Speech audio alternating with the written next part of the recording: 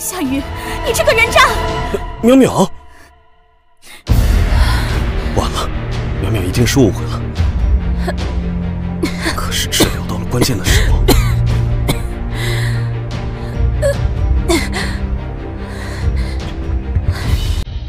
把衣服穿上。初次诊疗已经结束了，因为你的病情比较严重，你需要尽快的休息，所以赶紧回床上去吧。我没有力气了，你抱我上去吧。这样不好。你还是个男人，怎么这么胆小？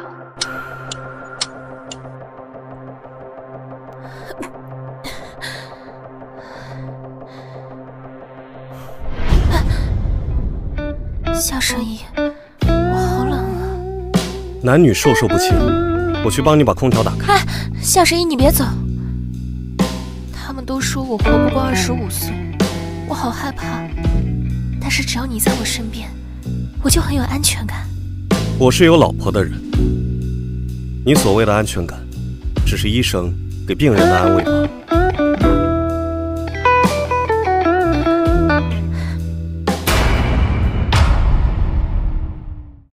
小姐，把这姜茶水喝了吧，暖暖身子。嗯啊，小姐，我不明白，夏神医是有家室的人了，可你为何还要？爷爷曾经和我说过，夏神医的身份超乎常人的想象。可是，小姐啊，你也没必要牺牲自己啊。随着爷爷年迈。苏家在京城的地位一天不如一天。等待爷爷归天，如果我能得到夏神医的帮助，那苏家再无后顾之忧。可是小姐，夏神医啊，毕竟是有老婆和孩子了。据我所知，夏神医还没有和他的老婆结婚，那我就还有机会。我是苏家的长女，难道还比不过一个小家族出来的女人吗？徐公子，你说的是真的？云城徐家真的是京城徐家的分支？没想到那个徐淼淼竟然不是大姑抱回来的野孩子，她竟然是京城主家的人。这个女人张嘴。啊！哎，你就是徐家出去的狗，也不是你能够侮辱的。就是徐家出去的狗，也不是你能够侮辱的。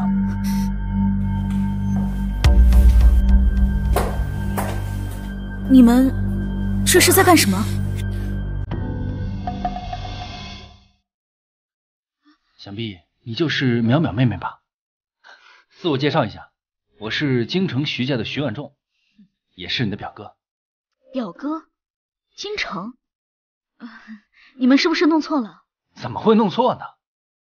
当年徐家的长房，也就是你的父母，被仇家设计出了车祸，所以爷爷呢，就会把你偷偷的放到了云城的徐家寄养。这些都是爷爷在遗嘱中说过的。遗嘱？爷爷去世了？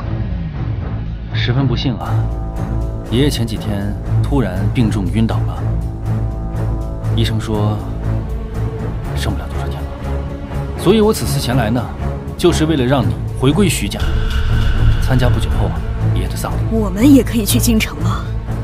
你们不配。让我再想想。我呢，是不会让主家的血脉在外面流亡的。想必你的女儿啊，此时已经在京城的飞机上了。我女儿？我跟你走。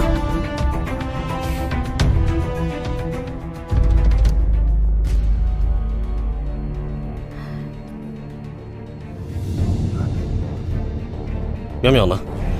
你来晚了，淼淼被徐家的人带走了。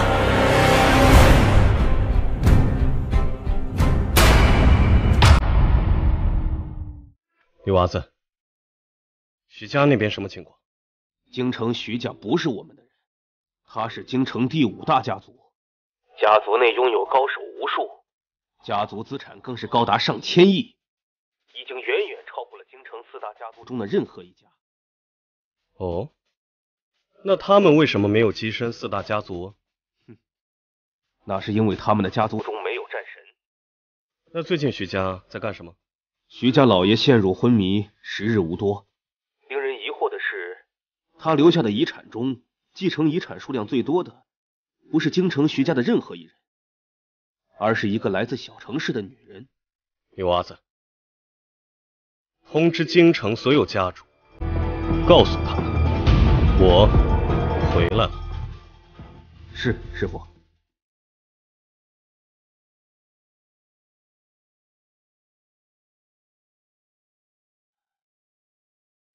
记得师傅上次来京城，掀起一片腥风血雨。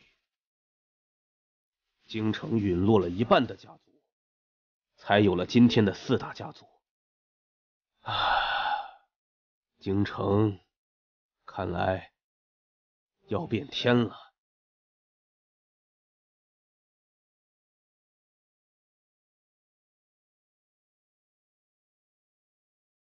喂，苏长青，你随我去趟京城，希望你见到我老婆的时候。可以向她解释清楚一切。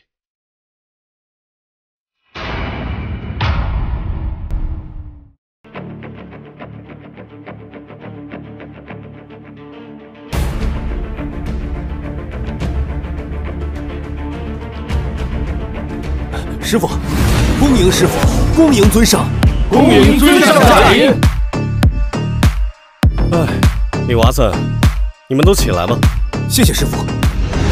他竟然是北境龙帅李正道，夏雨竟然是北境龙帅的师傅。我的身份很少在外面露面，我的身份当然也是绝密。你竟然认识我？回龙帅，爷爷拜访您时，我从远远看过一面。莫非你是苏家那女娃子？嗯。你的病治好了？多亏了夏神医。夏神医，夏九真。嗯，女娃子。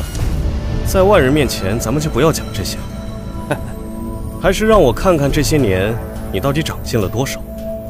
为师也正好检查一下自己的功力到底恢复了几成。师傅，我怎么能打得过你？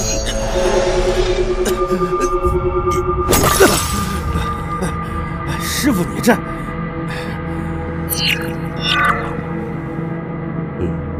不错不错，没有让为师失望。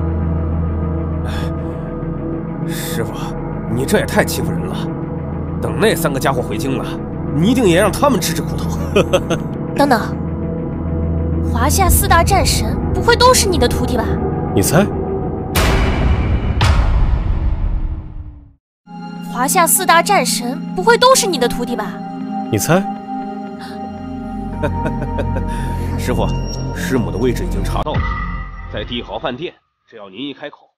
我马上带人包围他整个徐家。不妥，你现在身居要位，应该以大局为重。况且这事事关你师母，必定由我亲自处理。这样吧，你就给我准备一辆车。嗯，你会开车吗？我，你竟然让我堂堂苏家大小姐给你当司机呀？怎么，不愿意？愿意，当然愿意。师傅，请。妹妹啊，这么多年你流浪在外，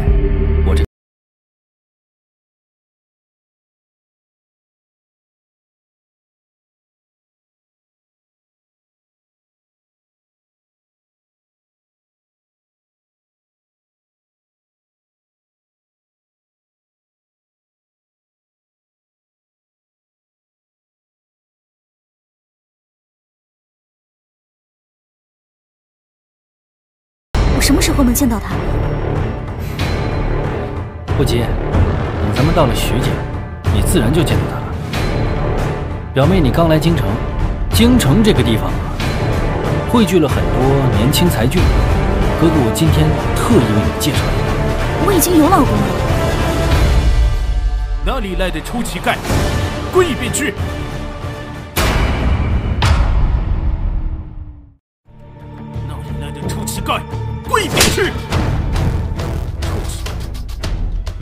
匹夫是花了七万元定制，你配得起吗？你这个年轻人怎么这么不讲道理呢？明明是你先撞的我。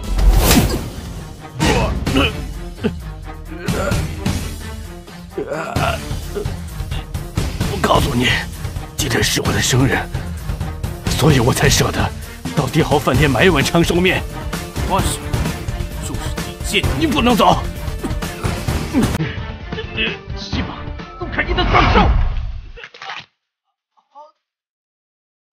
谁给你的狗胆，敢在华夏大地耀扬威？谁给你的勇气，敢辱我同胞？你是谁？我是谁？我只不过是一个华夏人。你敢打我？我可是高贵的大汉子民！我不仅要打你，我还要废了你！你打啊！我的腿！还有，还有这只手。对了。